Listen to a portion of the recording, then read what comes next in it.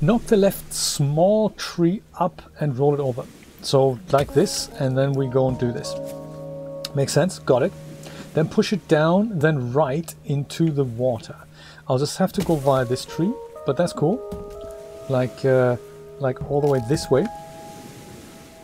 I can do that. That is, that's good. We haven't actually tried this, so good stuff. Knock the other tree down in front of the log. I like so. And then we can actually do that. That that that is very cool. Knock it down one and left into the water. Like so. And so. That is pretty much exactly what we need. And now I bet we can push the large tree over Nate. Whoops. Look at that. Is could that be the solution?